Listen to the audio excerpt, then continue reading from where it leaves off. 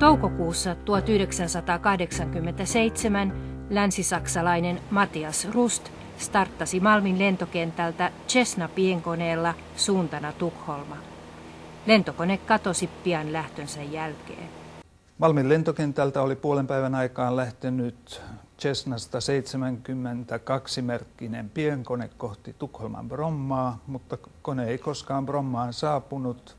Samanaikaisesti Sipoon selältä Kalkkirannan lähettyviltä oli löydetty iso öljyläiskä, mikä käynnisti läpi yön kestäneet etsinnät. Tästä kerrottiin Iltasanomien ensimmäisessä painoksessa, aamulla ilmestyneessä ensimmäisessä painoksessa. Toimittaja Jorma Lindfors keksi ensimmäisenä maailmassa, että Moskovaan laskeutunut pienkone on sama kone, jota etsittiin Sipoon edustalta.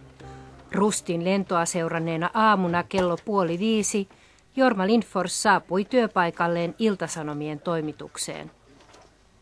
Siinä alkoi sitten päättelytyö, eli mä aloin itse vähän pohtia, että onko tämä ylipäätänsä teknisesti mahdollista ja mi- millä ehdoilla on mahdollista, että Helsingin Malmin kentältä lähtenyt kone voi päätyä noin kuusi tuntia myöhemmin Moskovaan.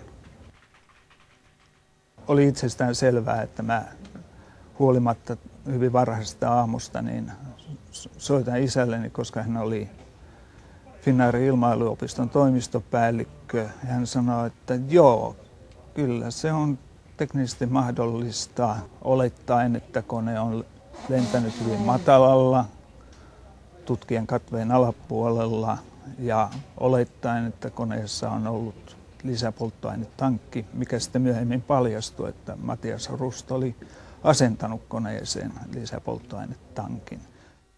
Sen jälkeen menin kertomaan tuota, varsin ällistyneelle uutispäällikölle, että se kone, jota on etsitty pitkin iltaa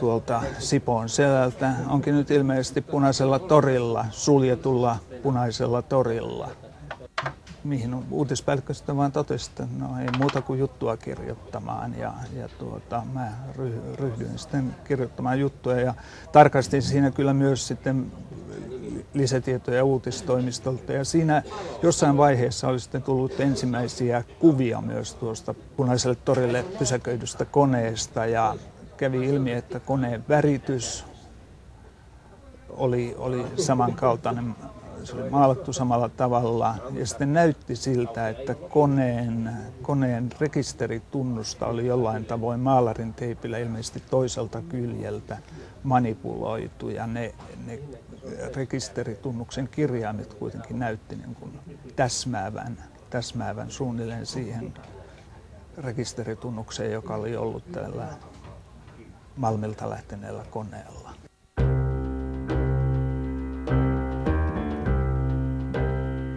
Tietenkin me tiesimme, että meillä nyt ilmiselvästi on tässä tämmöinen oma uutisvoitto, niin sanottu skuuppi.